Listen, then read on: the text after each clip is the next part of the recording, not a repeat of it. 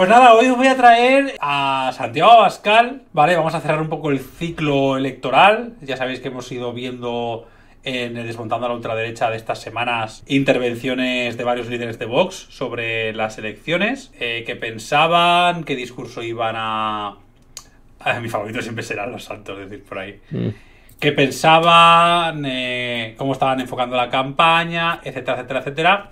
Y ahora vamos a cerrar esto pues con unas declaraciones de cierre de campaña, de cierre electoral, tras las elecciones del 28M. Es decir, cómo afronta la extrema derecha lo que ellos interpretan como una victoria electoral y cómo, y cómo lo van a vender. ¿vale? En esta sección, como sabéis, yo traigo un vídeo, una declaración, un texto, varios tweets, comentarios, algo que considere que contenga elementos discursivos de la extrema derecha con el objetivo tanto de analizarlos como de comprenderlos como de desmontarlos y daros argumentos a todo el mundo pues para intentar pues, pues, si estáis en una cena de navidad y os sale el facha de turno pues saber qué responderle y cómo vale Eh, en este caso como sabéis vamos flojitos. Eh, sí escuchar a Vascalesis flojito aquí. Eh, porque creo que es interesante ver cómo Vox ha reaccionado a su propia eh, aparente victoria, ¿vale? No es un vídeo muy largo, mm, va a haber poco que desmontar, poco que comentar, pero bueno, yo creo que es interesante que lo veamos, eh, porque además han hecho un montón de declaraciones, de entrevistas, y yo creo que, eh, habiendo visto unas cuantas, este es el que mejor condensa cuál va a ser el planning comunicativo, estratégico y político de Vox durante estos días. Que además lo van a reenganchar seguramente con la campaña electoral de las elecciones generales. Para comprender a la derecha, dices, decís por el chat, hace falta comprender, hace falta sistemas de ecuaciones diferenciales de tres variables. No creo que sea asequible a todo el mundo. No, hombre, no. Todo es más sencillo que todo eso.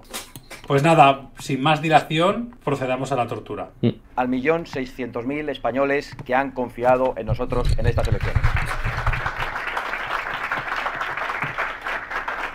Ellos han depositado su confianza en nosotros, pero eso me lleva también a mostrar nuestra gratitud a nuestros simpatizantes, a nuestros afiliados, a nuestros apoderados, a los que durante esta campaña, en circunstancias muy difíciles y a veces en circunstancias de violencia, han llevado el mensaje de Vox a las calles. También a En circunstancias de violencia. Limpia. Dos altercados han tenido, uno o dos han tenido. Y uno de ellos con el Cecilio G. Este. Esta retórica de la violencia ya la utilizaron en la campaña electoral. Prácticamente daban a entender que no podían dar un paso eh, sin, que, sin que les lanzaran piedras. Sorpresa, es mentira. De hecho, en Cataluña prácticamente no se ha oído que haya ningún problema. No sé si me equivoco, yo lo he estado buscando y eh, han, han hecho las elecciones locales. Creo que ha habido alguna movida en algún colegio electoral, pero no, no muy diferente de la que podría haber con cualquier otro partido. O sea, el tema de la violencia es una forma de nuevo que tiene la extrema derecha de victimizarse. Presentarse como la víctima es, bueno, me da BC de esta gente, ¿vale? Pero bueno, sigamos. nuestros candidatos, que en las mismas circunstancias complicadas se han puesto al frente del proyecto de Vox en sitios muy difíciles. Y lo han hecho no solo en circunstancias de violencia, sino de demonización absoluta por parte de los medios de comunicación. Ellos ¿Alguien me puede explicar qué demonización de los medios de comunicación ha sufrido Vox? Porque vamos, en la tele, en los medios, el tema que si ETA, que si los violadores que la izquierda está soltando en la calle, que si los ocupas, eh, en fin. Mm, a mí me gustaría recordar... La vuestra ha sufrido. Bueno, vale, sí, venga. Nosotros no somos un medio de comunicación, ¿eh?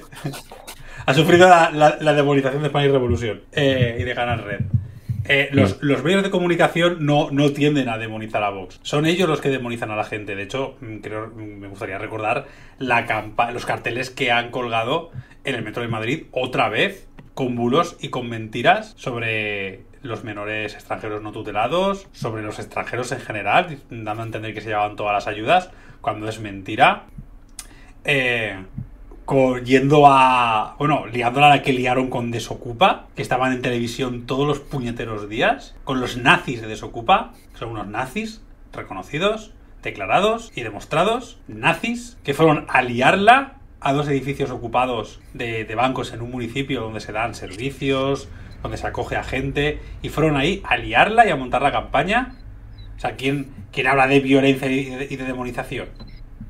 Pero claro, la estrategia de transposición, de presentarse ellos como víctimas, en fin. Son un orgullo para nosotros y pueden estar seguros los españoles que han confiado en este proyecto, en todos esos concejales, en todos esos diputados autonómicos, que no vamos a defraudarles. Hoy se produce,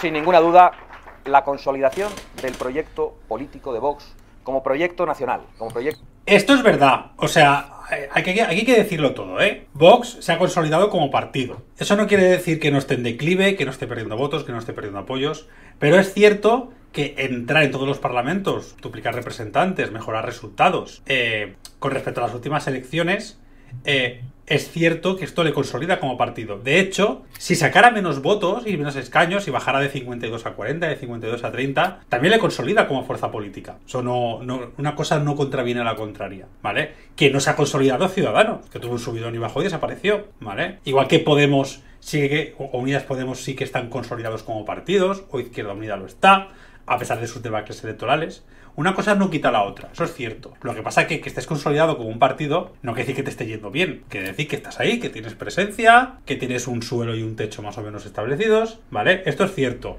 Es cierto y se verá sobre todo en las siguientes municipales y autonómicas, ¿vale? Pero bueno, es decir, tenemos que tener presente que la extrema derecha se está consolidando a todos los niveles, en todos los países, eh, que por ejemplo Bolsonaro pierda en Brasil, no quiere decir que la extrema derecha desaparezca, que Donald Trump pierda en Estados Unidos lo mismo. Mucho cuidado que las derrotas no implican que un partido desaparezca, que, la extrema derecha desaparezca y sobre todo que el discurso desaparezca. El discurso desde luego es lo que más consolidado está. Entonces, aquí pues le tenemos que dar la razón. No pasa nada. Analiza ahora la comunicación de Bascal, a ver qué tan gran comunicador es. Me resulta increíble que la gente se pare a escuchar a chorradas que suelta. Pero es que son chorradas para ti. Esto es una cosa.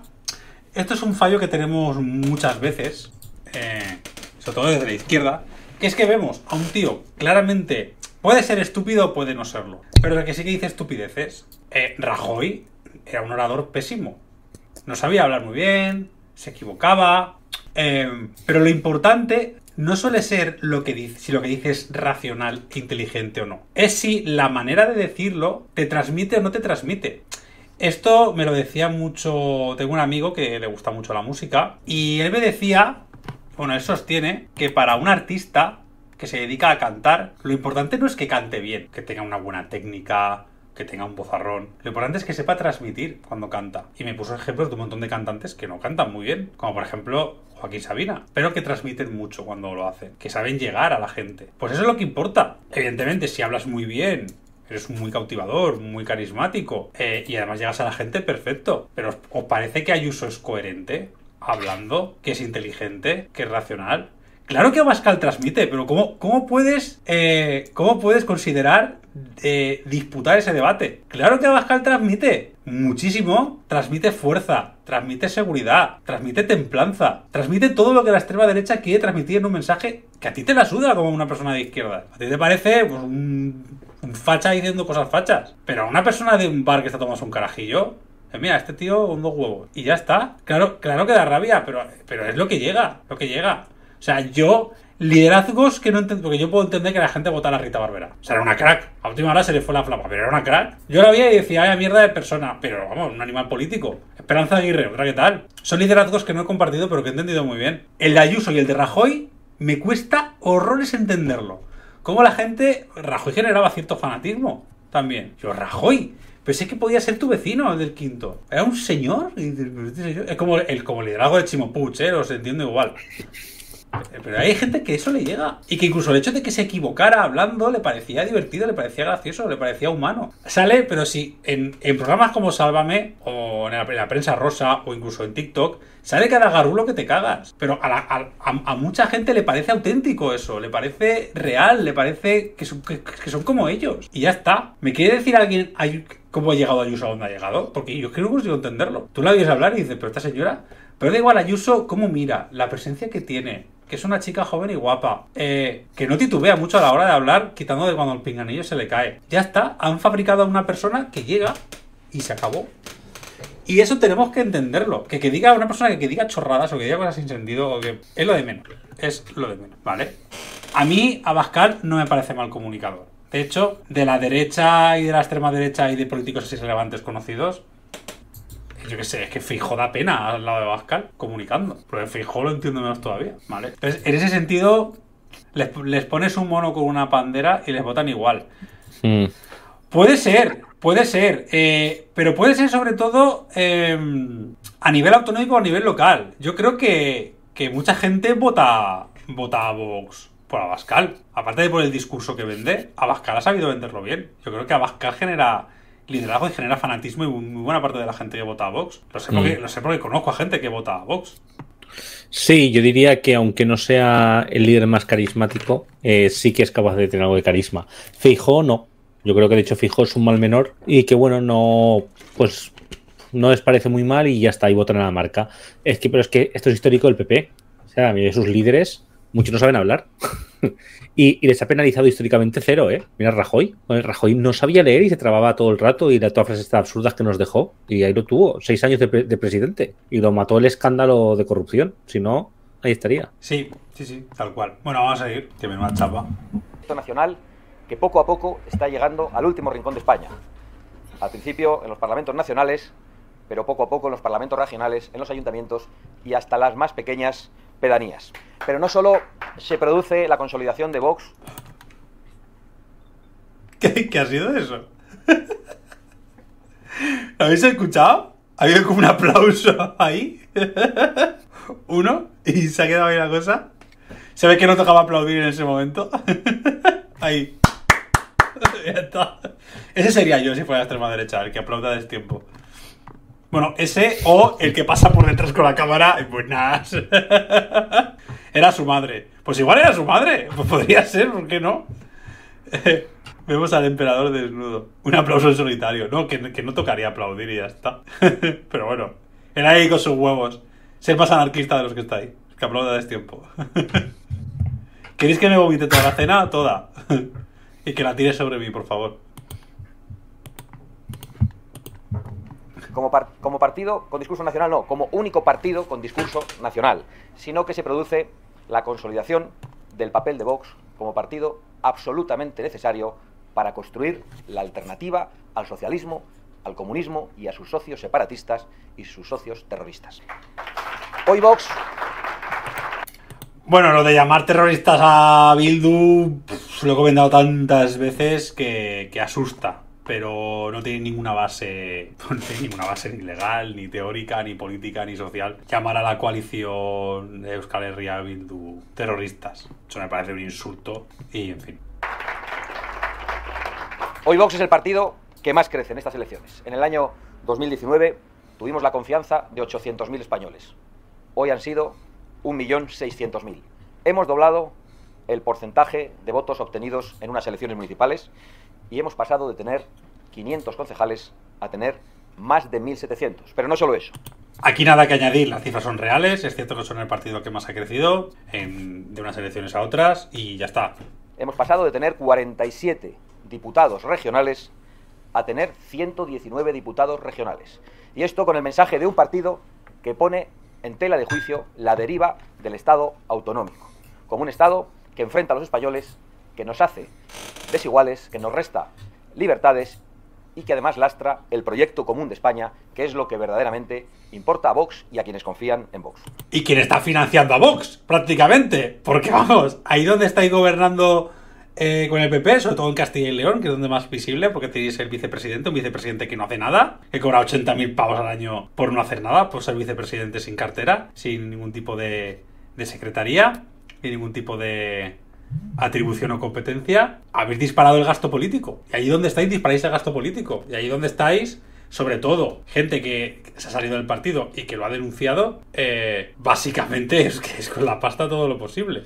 O sea que a mí no, rollo, no, no me gustan las autonomías, no sé qué, no sé cuánto, pero vamos, estáis ahí chupando del bote como el que más. Me quiero detener un momento también en algunos lugares donde nuestra representación no va a ser determinante, pero que no podemos dejar de celebrar por su importante simbolismo. Me refiero a la entrada en, mi patria chica, en las juntas generales de Álava, con un resultado modesto, pero que nadie dude de que, como muchas otras cosas que ha hecho Vox, esta será la primera piedra de una reconquista también en aquellos lugares donde las libertades y la unidad de la nación han sido más atacadas, incluso con la violencia. No solo en Álava. Aquí los aplausos lo has ido más o menos a tiempo. Otra vez la retórica de la reconquista, que no la utilizaban desde la primera campaña de las andaluzas, ¿no? De España está en manos, no sé, de los rojos y los separatistas y los terroristas y nosotros venimos a reconquistarla. La retórica de la reconquista es una alegoría imperial, ¿no? A la España imperial, a, a la época, de hecho, de la reconquista, que además es un concepto que está en tela de juicio por muchísimos eh, historiadores. Es una referencia bastante xenófoba y racista.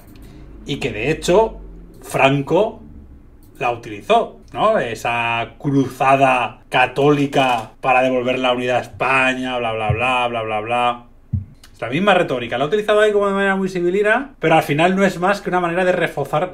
Uy, perdón. No es más que una manera de reforzar la identidad eh, del exogrupo y del endogrupo, ¿no? De, de, marcar de manera más clara quién es el nosotros, quién es el ellos, ¿no? Es uno de los pilares discursivos de la extrema derecha, eh, para conseguir alimentando ese hombre de paja, que son pues, los progres, los enemigos de España, los separatistas, etcétera, y seguir alimentando el odio, que de eso viven, del odio.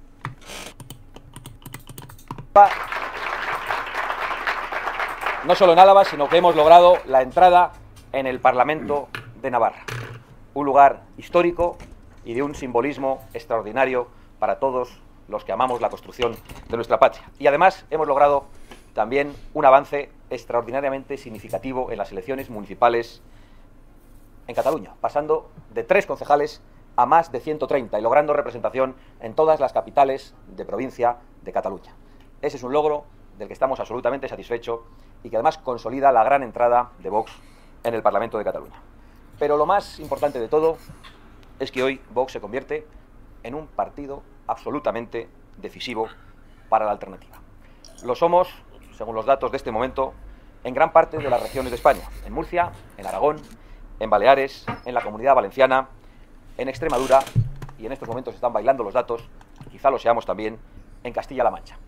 Y lo somos para cambiar las políticas, las políticas que ha traído la izquierda. Bueno, esto es cierto que el Partido Popular se ha quedado, oye, perdón, que Vox se ha quedado en una posición que le permite al PP, bueno, le permite en realidad al PSOE también, si quisiera, a los dos grandes partidos eh, exigirles prebendas a cambio de llegar a acuerdos políticos. Pero depende de esos dos partidos, de PP y de PSOE, del Partido Popular y del Partido Socialista, sí, entrar en ese juego o cordón sanitario. Es decir, nunca demos esto de verdad por perdido. Nunca lo demos por perdido. Hay que presionar al PP para que no pacte con Vox, para que no pacte con la extrema derecha, para que no pacte contra los que atacan los derechos humanos, contra los que amenazan las libertades, contra los que amenazan los derechos de las minorías étnicas, de la diversidad sexual, de los derechos de los trabajadores y de algún derecho más mejor seguro. Sí, sí, sí. La, verdad es que eh, el problema hay con esto es que yo creo eh, ahora mismo que hay más rechazo a pactar con Vox por parte de ciertos cargos del que no se fijó que por parte de los votantes de Vox, del PP. Es decir, yo creo que, bueno, que se han hecho encuestas, ¿no? Y tal. Y aunque es verdad que hay votantes del PP que rechazan los pactos con Vox, eh, también hay, o sea, hay una parte que, que lo ve perfecto, ¿sabes? Y, uh, y curiosamente es el Partido Popular el que está ahora un poco en esa dinámica de qué hacer. De hecho, otro día Feijó, que fue muy llamativo, recordó, porque él dijo que al principio de todo, que él se abría a que dejar que gobernase la lista más votada. ¿Vale? Que es una retórica que el PP siempre ha usado cuando le ha venido bien. Porque recordemos que la única vez que no le vino bien, porque la derecha iba dividida, dijo, ah, ya no, ya no vale eso, ya no vale la lista más votada. Pues en aquel momento eh, eh, no sirvió, ¿no? Pero ahora ha vuelto a decir, lo dijo hace tres días, de que Feijó seguía abierto a que gobernase la lista más votada, si el PSOE aceptaba, ¿sabes? Eh, y lo curioso es que, claro, desde el PP le se echaban encima. De hecho, desde el PP de Extremadura dijeron que no. Y tras eso, Fernández Vara volvió y dijo que no dimitía, que se esperaba a ver si podía formar gobierno. Claro. O sea, que muy curioso. Claro. Es que aquí se juntan varias cosas. Lo primero que, a ver, en primer lugar la estrategia política que tú quieres seguir, ¿no? Porque si tu estrategia política es adueñarte del centro moderado, del centro moderadísimo, y parecer... El ultracentro. El ultracentro eh, para la mayoría de los españoles, que te han votado a ti y no a Vox, que te han votado a ti y no a Vox, quizá pactar con Vox porque además el votante del PP suele ser muy tradicional. Quizá pactar con Vox no es lo que más les guste. porque te puede acercar a la radicalización que se supone que tú no quieres. Eso uno. Luego, estás en un, en un partido popular europeo, que tiene también unas directrices y que te pueden llamar la atención, que te puede hacer perder influencia a nivel europeo, etcétera. ¿Vale? Y ahí la cosa todavía está mm, entre bambalinas con el tema de la extrema derecha. Y tercero, las experiencias pactando con Vox no han sido buenas para el PP. Es que no han sido buenas. En Andalucía han estado hostias hasta hasta hace bien poco. En la Comunidad de Madrid también. En Castilla y León también. Entonces, eh, mm, saben que con el PSOE van a poder seguir conservando sus privilegios. Van a pactar lo mismo más o menos a nivel económico, en todo lo demás se quedará más o menos igual. Alguna privatización por aquí, por allá, y ya está. Y aquí no ha pasado nada. Pero con Mm. Vox van a empezar, pues ahora de luego no sé qué, pues ahora los negros, pues ahora tal. Mm. Es como me acerco a ti y tener a un tío que te está zarandeando todo el día. Y tú, hostia, hostia, hostia, ¿sabes? Eh, Mm. Y encima se ve que son que, que- que un día te dice una cosa, otro día te dicen otra. Entonces, Mm. claro, mm, eh, por aquí está diciendo el progre Miguel, PP como Vox o el PSOE son títeres de la oligarquía. No iba a ser mejor con un PP Vox. Al final las medidas socioeconómicas y laborales serían las mismas. Eso lo dices porque no eres negro. Claro. Probablemente tampoco hay, tampoco gay y probablemente tampoco mujer. Yo lo siento, pero no te lo compro. Está. Yo no voy, nu- nunca voy a meter a la extrema derecha en el mismo bloque que el resto de los partidos. Nunca, ¿eh? Nunca, nunca me vais a hacer eso. Sí. Lo siento, pero no. Para mí es una, línea rojísima, valga la redundancia. Mm, Sí. ¿Vale? Eh, antes me afilio al PSOE y al PP a la vez, vamos. Mm. Y le, le beso el culo a Mancio Ortega. La extrema derecha es otra cosa, no es un partido, no es un discurso, no es una ideología. Son asesinos. Son asesinos de los derechos humanos. Y punto. Y nunca van a estar a la altura de ningún otro partido. Totalmente. Y, y más, eh, es un poco lo que ha dicho Adrián. Es decir, el que quiere hacer un cuanto mejor peor, estos discursos terribles que hemos oído de, bueno, pues que gobiernen y cundan el país. Eso te lo puedes permitir por tu privilegio de hombre blanco heterosexual. Estoy seguro que la mayoría de personas LGTB eh, están temiendo por muchos de sus derechos si esta gentuza gobierna. Además de un día para otro. Porque saben que van a ser objetivos prioritarios que muchas mujeres también eh, eh, tienen miedo a qué puede pasar con sus derechos. ¿Vale? A que las personas migrantes pueden tenerlo. Decir cuanto mejor peor, en este caso, digo, es un privilegio que tienes eh, porque tienes unas condiciones eh, base eh, que te lo permiten, ¿vale? Que son lo que llamamos privilegio, ¿no? Lo que se entiende. Entonces, mucho cuidado, porque no es admisible para mucha gente que puede perder muchos derechos en muy poco tiempo. Por aquí decís, pero el PP también es extrema derecha, que nadie se equivoque. El PP no es extrema derecha. El PP puede tener algún elemento de extrema derecha. Y alguna persona de extrema derecha, como Ayuso, que es trampista. Pero en líneas generales el PP es derecha conservadora. Está, está alineado con el discurso conservador, quizá muy conservador, pero no tiene los elementos para que le digamos extrema derecha. Mucho cuidado con llamarle extrema derecha a todo, de verdad, de verdad. Y yo sé que cuando eres muy de izquierdas, mm, cualquier cosa que se apoye al capitalismo de derecha, yo entiendo ese discurso. Y que al final Vox sirve a las élites y que si Vox es una decisión del PP. Pero bueno, por algo se escindieron del PP, para seguir una línea muy distinta. El PP ha dejado morir a 4.000 personas de hepatitis. Sí, Ayuso ha aprobado un protocolo de 8, que, ha, acabado con, el- con el- la muerte de 8.000 ancianos. Pero que da igual. Que es que, la, es que la extrema derecha está a otro nivel. En serio, en serio. Eh, yo creo que ese discurso de llamar a todo el mundo franquista o llamar a todo el mundo de extrema derecha eh, porque está en el otro lado del espectro ideológico o porque ha cometido un crimen o por lo que sea, de verdad, mm, echad, daos una vuelta por Hungría y veréis cómo no tiene nada que ver. Mm. Que aquí hemos tenido el PP, el PP con mayoría absoluta ocho años. Es que lo que iba a decir. O sea, ¿tú imaginas qué haría Vox en ocho años de mayoría absoluta? En ocho años de mayoría absoluta no habría. O sea, estaría restringido el derecho al aborto, no habría. No habría eh, matrimonio LGTB, los sindicatos estarían en mínimos. Eh, no sé, una pérdida de los derechos de los trabajadores bastante grandes. Eh, ojo, eh, que, es, que es que hemos tenido el PP mucho tiempo con eso y nada. Bueno, es que hasta aquí el debate, ya está. Tú lo, vosotros lo veis así, yo no. Y como yo me dedico a analizar y, y a, y, a, y a establecer conclusiones y argumentos sobre esto, pues si no estoy de acuerdo, pues no estoy de acuerdo. Sí, sí. eh, Pero Para mí están los partidos democráticos y la extrema derecha. Y voy a seguir sosteniendo eso hasta que me muera. Vamos a continuar analizando esto. izquierda y que han enfrentado a los españoles, que han destruido la prosperidad y que han dañado cada día más la unidad nacional de España. También somos decisivos en un tercio de los ayuntamientos de capitales de provincia de toda España. Y permítanme que haga una reflexión añadida. Vox tuvo en las elecciones municipales del 2019, como les he dicho, 800.000 votos. En el mes de mayo del 19. Entonces muchos pronosticaron nuestra defunción. Una vez más. Solo cuatro meses después tuvimos 3.700.000 votos en las elecciones generales. Hoy hemos tenido 1.600.000 votos. Pues ya está, ya lo has dicho tú. Si es que no, no que yo. Ya está, tuvisteis 3.600.000 votos en las generales y ahora 2 millones de votos menos. No pretendas volver a tener 3.600.000 otra vez en las generales, porque eso no va a pasar. Como pase voy a tener que callarme la boca, también te digo, pero no, no tiene pinta de que vaya a pasar. A ver, puede ser que esta victoria, si se vende bien sea un revulsivo, pero no tiene pinta, tiene pinta de que el voto se está concentrando, me puedo equivocar, me puedo equivocar, pero pero no, o sea, habéis empeorado bastante, habéis empeorado bastante. En las elecciones municipales, así que pueden hacer una simple regla de tres y pueden hacerse una idea de la confianza que esperamos de los españoles en las próximas elecciones generales y diciembre. En las próximas... Pero sobre todo, creo que estos resultados son muy buenos para que abandonen toda esperanza los agoreros de la defunción de Vox porque Vox no responde a un capricho, sino a verdades profundas que sienten los españoles, a valores permanentes y a ideas que hoy solo Vox defiende. Vox ha venido para quedarse y Vox ha venido para ser decisivo en la construcción de la alternativa que España necesita. Decisivos para esa alternativa, pero no vamos a echar las campanas al vuelo, porque el otro partido, que también es decisivo para esa alternativa, está presidido por Alberto Núñez Feijóo, que ha dicho que en primer lugar va a ofrecer un pacto al señor Sánchez.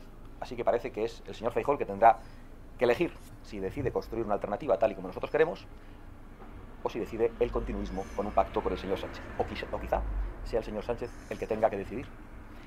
Desde luego, todos los españoles tienen que estar muy seguros de para qué ha llegado Vox. Y Vox está aquí para construir esa alternativa y para derogar toda la legislación de la izquierda. Esa legislación dañina. Me parece muy curioso que todavía no ha dicho para qué está aquí Vox. O sea, Está aquí para construir la alternativa y para derogar cosas. Pero eh, este discurso de ir a la contra todo el tiempo, en cuanto empieces a gobernar, se te va a agotar. O sea, que date prisa, porque es que algo me parece increíble. Eh, está, para construir alternativa, para construir alternativa, eh, aquí la izquierda o cualquier otro partido ya habría hablado de alguna propuesta, pues de vivienda, pues para atender a la gente que lo pasa mal, pues para ofrecer no sé qué.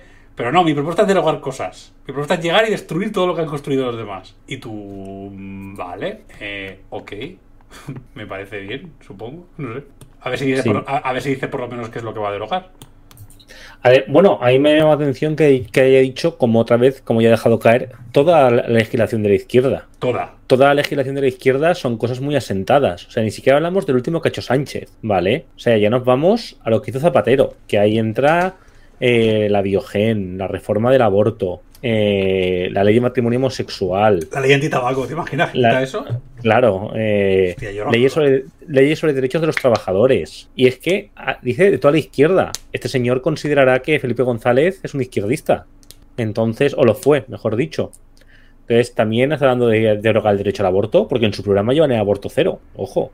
Por aquí decís, ¿por qué se les llama conservadores si no hace más que destruirlo todo? Ahora, en lugar de llamarle ultraconservadores, le podríamos llamar ultradestructores. Ultradestructores. Me, me, gusta más. Los destructores imperiales. Oye, los, ultradestru los ultradestructores, no es mal, no es mal Los ultradestructores.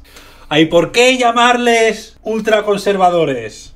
Silencio de pausa de tal. Mejor llamarlos ultradestructores, porque eso es lo que son, destructores. Y el aplauso, me queda bien. Queda y bien. música épica de fondo. Música épica, me gusta, me gusta, me gusta, me gusta, me gusta. Para, el próximo, para mi próximo discurso político. Sí. en fin, las fuerzas del mal. No, eso está muy, eso es muy cliché. Eso sí, es muy eso cliché. lo, lo, suelen utilizar, de hecho, contra nosotros. Sí. Los enemigos de España. Los, los malos españoles. Los malos españoles. Madre que los parió. Para nuestra unidad, para nuestras libertades y para nuestra prosperidad. Y también pueden estar seguros todos los españoles, pero sobre todo aquellos que han confiado en nosotros, que Vox va a defender a sus votantes. Esa es nuestra promesa electoral. Lo hemos dicho en cada plaza de España, en cada calle, rodeados de miles de personas que nos han acompañado y nos han llevado en volandas. Y esa promesa nosotros no la vamos a incumplir. Por lo tanto, que nadie espere regalos por parte de Vox, porque Vox no puede regalar aquello que no le pertenece, que es la confianza y los valores de los españoles y que tampoco nadie espere que Vox vaya a aceptar ningún tipo de chantaje o ningún tipo de trágala. De la misma forma, también podemos dar tranquilidad. Vox no va a ser partícipe de ningún chantaje. Vox va a actuar con responsabilidad, con patriotismo, pero con toda firmeza para construir la alternativa. Muchísimas gracias a todos por vuestro apoyo. Me, me gusta bastante que se defina co- como... Que no quita la cortinilla. Me gusta bastante que se defina como alternativa eh, y no como un partido de Estado. Porque me da la sensación... Bueno, esto ya es una opinión mía, pero me da la sensación que ese discurso triunfalista de voy a gobernar a España lo ha ido sustituyendo por, mm, por algo como más con los pies un poquito más en la tierra, ¿no? De vamos a ser clave, vamos a ser responsables, vamos a llegar a acuerdos, vamos a... Un discurso un pelín más, más institucional y quizá más objetivo y más apegado a la realidad, que es que se están yendo al carajo en, la- en realidad, ¿no? Entonces quizá no quieren elevar mucho las expectativas. No los veo muy tan triunfalistas como, como de costumbre, ¿no? Porque aquí se podían haber pegado el moco. Vamos, porque vamos a gobernar España, porque... Y no, no, no están en ese plan, no están en ese plan. Eh, igual es que estaba Bascal cansado en este discurso. Pero no sé, lo veo más. Quizá también es parte de la estrategia, ¿no? Mostrarse un poquito más moderado, un poquito más sereno, un poquito más sosegado. Eh, aunque no ha dicho nada en todo el discurso. Si, os- si os dais cuenta, ocho minutos de, de puro nada. De vamos a actuar con responsabilidad. Esto es muy- como muy emocional todo el tiempo. Con responsabilidad, con confianza, vamos a responder, no vamos a hacer tal. Y tú dices, pero no sé aún qué vas a hacer, ni qué vas a exigir, ni qué vas a exigir en los pactos, eh, más allá de derogar todas las leyes. No sabemos qué vas a pedir, qué vas a hacer, cuáles son tus líneas. Eh, lo que has hecho además es tirar mierda sobre el, partido con el que supuestamente quieres pactar. Entonces, eh, no sé. Por aquí- Ojo que Sí, sí. es muy curioso que el partido al que más ataca en redes Vox no es el PSOE, ¿eh? es el Partido Popular. Claro.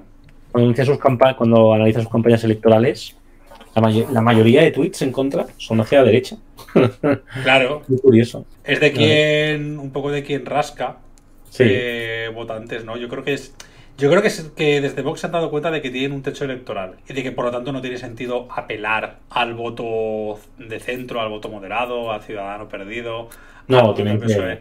Yo creo que han aceptado que son un partido de tercera o de cuarta y de que esa es su, su posición, al menos por el momento. Y está jugando Sí, ese juego. Es que además me recuerda mucho a, en algunos elementos, a la trayectoria que siguió eh, Podemos, de pasar Mm. de ser primera fuerza en encuestas a, a tener que necesitar al PSOE para poder gobernar. Sí, de partido que te va a superar a subalterno. Exactamente. De hecho, este discurso lo, lo coges de manera más o menos aislada y quitando el rollo de separatas y etarras, podría ser un discurso de derecha conservadora Mm. al uso. Entonces, es curioso, lo seguiremos, lo Ah. seguiremos with attention. Sí, a mí me ha llamado mucho, bueno, a mí me ha dado la atención, ¿no? Esto, lo último que ha dicho, que, que, claro, iba un poco en la línea de darle un toque al PP, de decir, no te vamos a regalar los votos. Es decir, o nos metes dentro de los gobiernos, o olvídate. Y Sí. nos va a dar igual, y nos va a dar igual eh, que nos chantajes con que gobierna la izquierda. Que al final yo creo que no dejarían gobernar a la izquierda. Pero, pero yo creo además que están condenados a entenderse y los dos lo saben. Pero está bien, ¿no? De hecho, es, es una buena cosa de las elecciones generales pronto, porque a esta gente la pillan negociaciones. Hay- a- y algunas van a ser con un cuchillo en la boca, ¿sabes? Entonces, pues bueno, siempre está bien tenernos distraídos con eso. Si es que, si es que no, no, no- no se soportan. O sea, yo es que. Si yo, si yo fuera, por ejemplo, si fuera en, en mi pueblo, por ejemplo. eh, uf, joder, joder, me he puesto mal ejemplo. Nadie, nadie quiere ver al PSOE en mi pueblo. Iba a decir, si fuera el PP de mi pueblo, antes miraría al PSOE que a Vox, pero. espérate. No, antes miraría a Podemos y a Compromís. Y, que- y a Izquierda Unida que, que a Vox. Es que a PSOE nadie lo quiere. mi pueblo. En mi, mi pueblo es mal ejemplo, pero en otros sitios, eh, joder, antes faltaría con un partido constitu- más constitucionalista, entre comillas, más del sistema, más del statu quo, más tal, que Vox lo El es. PSOE, el PSOE. Claro, el PSOE, más que eso. Pero, pero porque al final los privilegios los vas a conservar igual. Me podría preocupar lo que puede pensar mi electorado de cara a las próximas elecciones o lo que sea, pero bueno, ya tengo todo el aparato mediático para justificarlo, no pasa nada. Tal cual. ¿sabes? O sea que... Pero bueno, nada, un discurso de cierre electoral, de cierre de campaña, de cierre en general, porque se abre otro proceso. Hemos ido viendo la trayectoria de la extrema derecha a lo largo de todas estas elecciones, del discurso que ha mantenido, la verdad es que todo bastante vacío, bastante emocional, falacias, operaciones absurdas. Pero no hemos visto a un Vox especialmente agresivo como otras veces, quizá con más cautela, quizá... Quizás que sencillamente estas elecciones municipales y autonómicas no les importaban tanto porque están más enfocados en lo nacional, quizá lo esperaban como eh, una toma de medida. De hecho, tampoco hayan celebrado demasiado esta victoria, aunque la han celebrado, por supuesto, y en su derecho están. Eh, pero no han variado mucho su maquinaria. Están tirando la pelota para adelante, a ver qué pasa, a ver qué pasa. Porque está claro que están sumidos en una crisis muy importante, que están en declive, que están perdiendo fuelle electoral, que están perdiendo apoyos. Y por tanto yo entiendo que están viendo a verlas pasar. Eh, esto les puede dar fuerza. Mm, y, y en su discurso así lo están reflejando. Pero bueno, yo creo que vamos a ver una campaña interesante en medio de que va a pillar a todo el mundo en negociaciones, que va a obligar a la izquierda alternativa a reconfigurar su espacio y al resto de los partidos a repensar o reforzar su estrategia en función de qué lado hayan, hayan caído y además es una prueba de fuego para Alberto Núñez Feijóo que se va a estrenar en unas elecciones generales por parte del Partido Popular. Mm. Efectivamente, bueno, te digo, seguiremos un poco atentos a lo que va pasando. Eh, la verdad es que, bueno, hemos hecho un repaso eh, bueno al proceso electoral, ¿no? A la derrota que ha sufrido la izquierda, o mejor dicho, la gran victoria, ¿no? De la derecha de estos últimos días. Em, también, eh, sobre todo, hemos, aunque no era el objetivo, pero sí que era interesante, ¿no? Era ver un poco qué, qué ha fallado y sobre todo qué tenemos que mejorar, Sin caer en lo de autocrítica de la izquierda, porque, bueno, hay que tener autocrítica, pero no es lo único elemento, ¿no?